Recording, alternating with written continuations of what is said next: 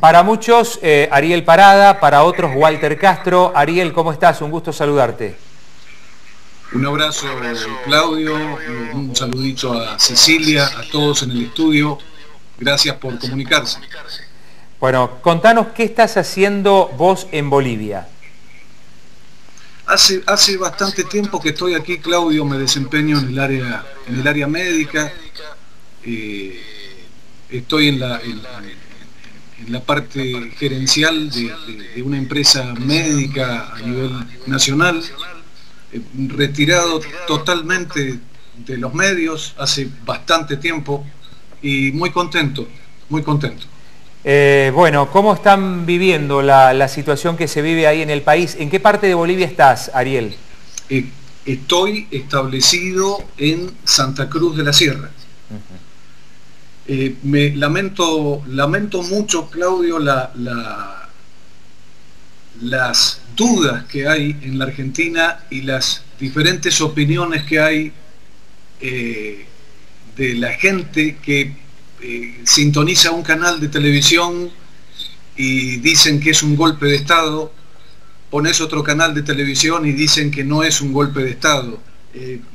realmente siento mucha vergüenza de que no existan periodistas que transmitan realmente lo que se está viviendo acá. Lo lamento mucho. No es el caso de ustedes, pero sí los canales de televisión de Buenos Aires que muchos son lamentables. Ariel, bueno, aquí en, la Argentina la situación está dividida como también lo está en Bolivia.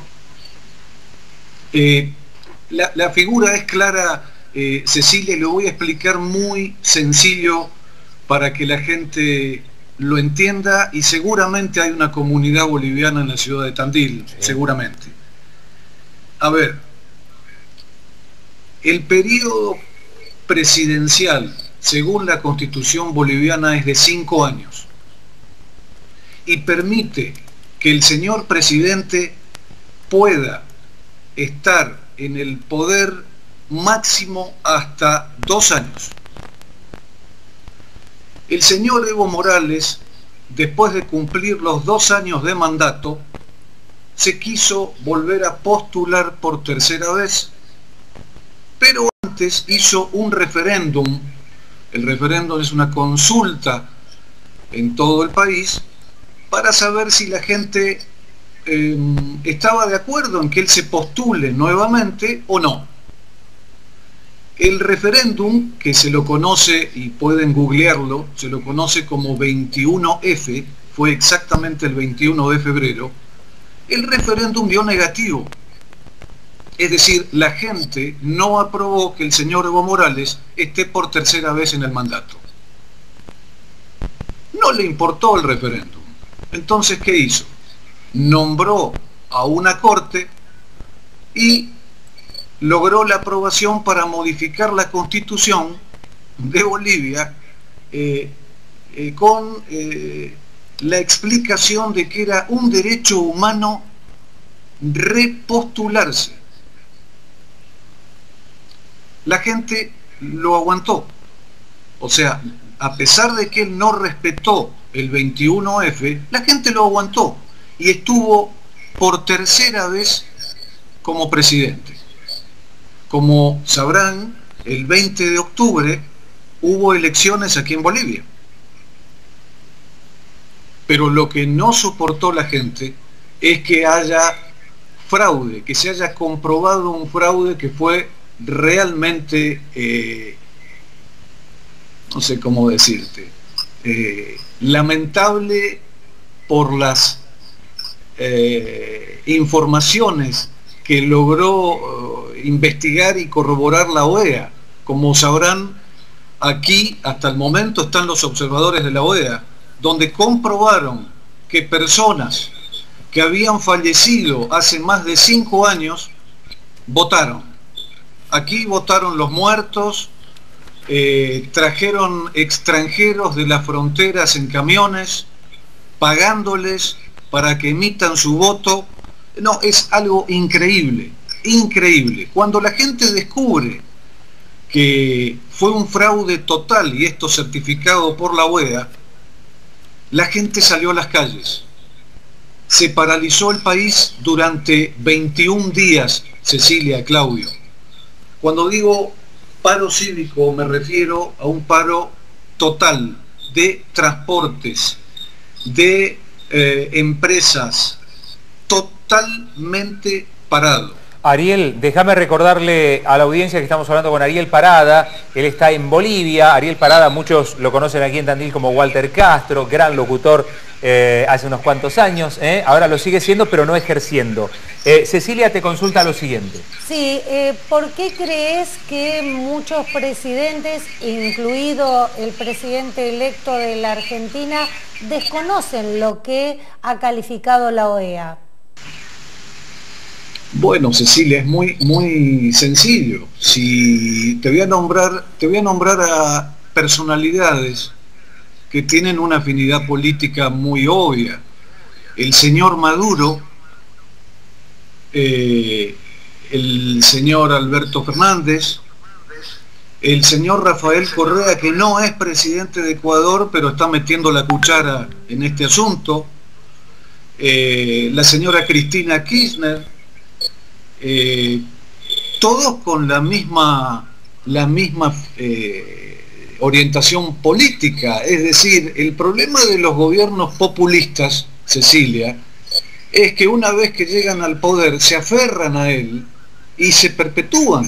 A mí me causa mucha gracia escuchar a Maduro y al gobierno cubano decir que hubo golpe de Estado en Bolivia.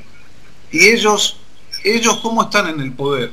Maduro cómo está en el poder. ¿No es golpe de Estado lo que está haciendo Maduro?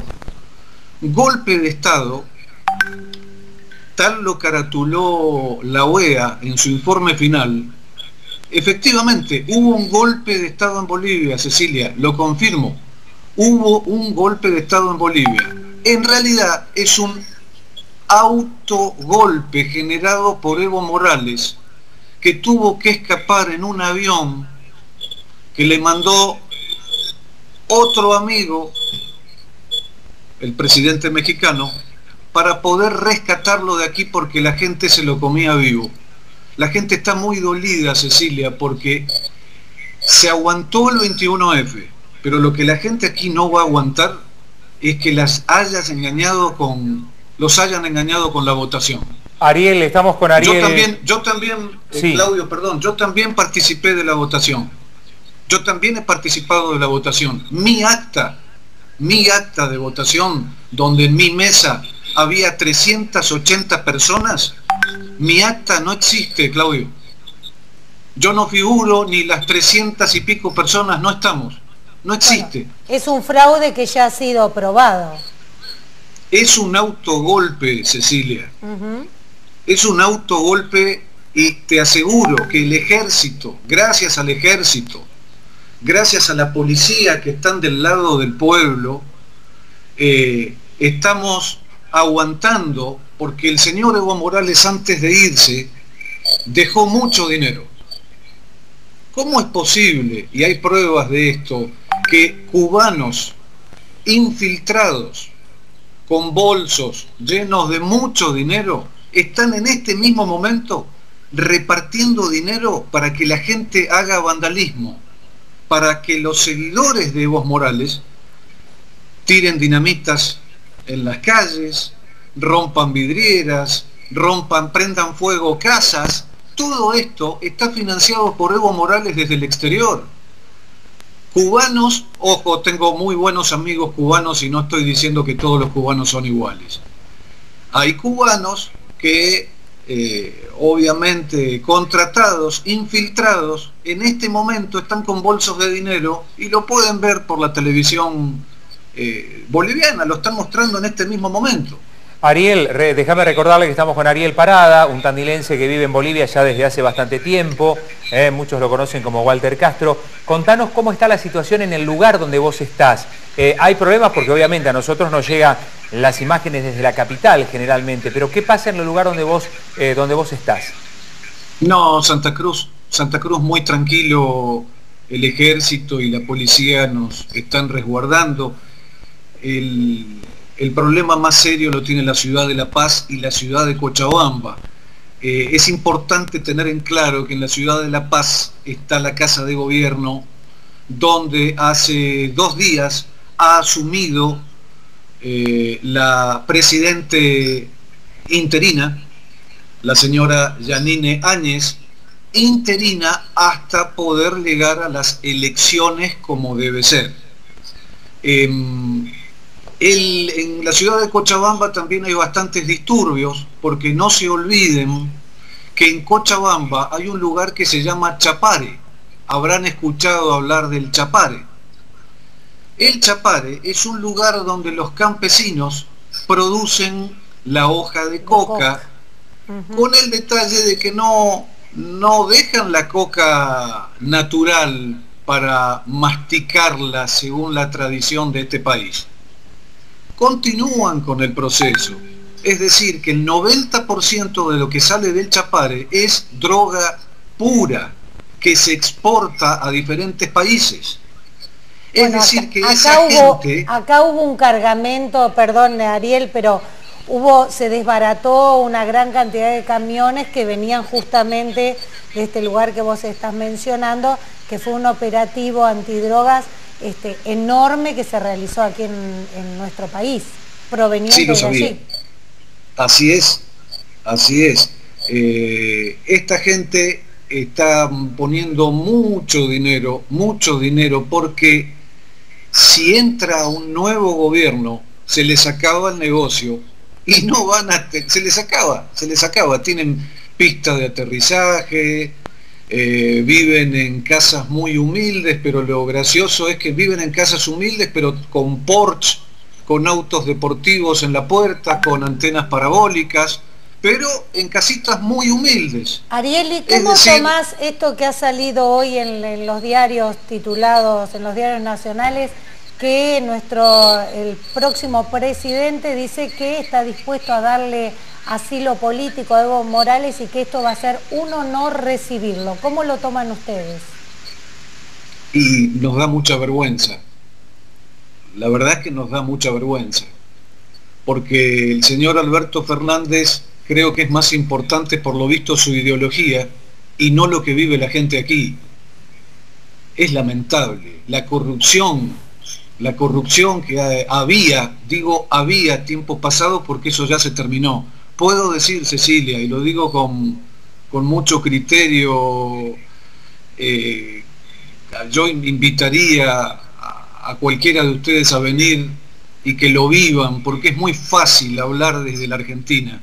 Invito a los periodistas que quieran venir, los invito y hasta se pueden quedar en mi casa si lo desean, que vean realmente la realidad. Ariel, eh, aguantanos ahí un segundito porque te voy a sacar, de, quédate con el audio, te voy a sacar de imagen porque eh, acá mientras vos charlabas eh, había mucha gente que, iba, que, iba, que iba mandando mensajes. dice, claro, dice el señor Ariel Parada, dice, viviendo en, en Bolivia, soy Mirta. Dice, pero ese no era Walter Castro. sí, efectivamente. Bueno, fueron llegando muchos mensajes mientras, mientras charlábamos con vos, así que te lo queríamos, te lo queríamos transmitir. Eh, para no, no, quitarte más tiempo, Claudio, Cecilia, eh, que quede claro, esto fue un autogolpe. Y el señor Evo Morales lo que busca es dar lástima ante la opinión internacional.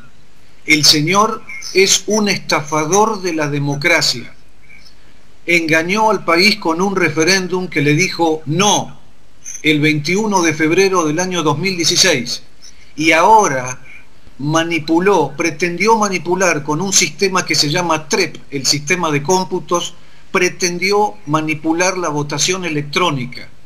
Esto, por suerte, fue descubierto por ingenieros expertos y corroborado por la OEA, esto fue un autogolpe. Por favor, que no se diga que el ejército lo sacó a patadas a Evo Morales porque no fue así. En este momento el ejército nos está defendiendo al igual que la policía. Realmente... Ariel, te agradecemos, me parece que se le, fue el, el retorno, Ariel, que lo teníamos ahí. ¿Nos seguís escuchando, Ariel? Ahora sí, Ahora te sí. escucho, te escucho. Em, te escucho, te escucho. No, te, te preguntaba, o en realidad ya para el cierre te mandaba eh, eh, cordiales saludos y si vos querías saludar a tu familia, y está complicado con el retorno, Ariel. A ver, ¿nos escuchás ahí? No, no. ¿No nos escucho, escuchás? Te escucho, Claudio. Eh, Gracias. No, Te saludaba perfecto, y si querías saludar a tu familia, están en contacto, pero tenés gente muy querida acá en Tandil. No, no. No, no, estoy en contacto todos los días con mi familia, que no se preocupen, y la comunidad boliviana que está en Tandil o que estén escuchando esta señal, que se queden tranquilos. Eh, Bolivia es libre, Bolivia a partir de este momento está en democracia y va a haber elecciones democráticas con una corte con la gente más proba, la gente más honesta, que es lo que debió hacerse hace mucho tiempo. Evo Morales huyó y se escondió en México. Que, para finalizar, Claudio, me hubiese gustado que haya pedido asilo político en Venezuela. ¿Por qué no pidió asilo político en Venezuela?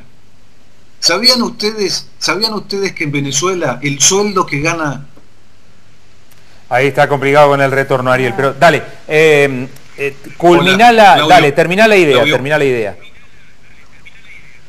para que tenga idea la gente por qué Bolivia está tan contento de estar en democracia ahora. Porque Bolivia no quiere transformarse en un Venezuela. En Venezuela, el sueldo, el sueldo de una persona, en Venezuela, el sueldo de una persona alcanza solamente para comprarse un kilo de arroz o un rollo de papel higiénico. Eso es Venezuela. Bolivia se salvó. Bolivia está en democracia desde este momento y vamos rumbo a las elecciones que van a ser en diciembre.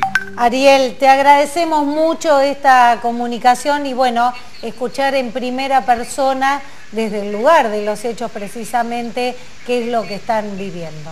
Un saludo grande, Perdón, un abrazo. Perdón, perdón por la efusividad con que les transmití todo, pero lo estoy viviendo en carne propia. Sin duda. Bolivia es libre y es un país democrático. Ojalá que Alberto Fernández lo comprenda. Un abrazo, Ariel, gracias. Gracias. Eh, Ariel Parada charlando con nosotros, eh, Ariel Parada para muchos, eh, Walter Castro, muchos seguramente lo conocen como, como Walter Castro, así que, bueno, dándonos, dándonos desde su parecer, desde su óptica, desde su lugar, lo que se está viviendo allí en Bolivia.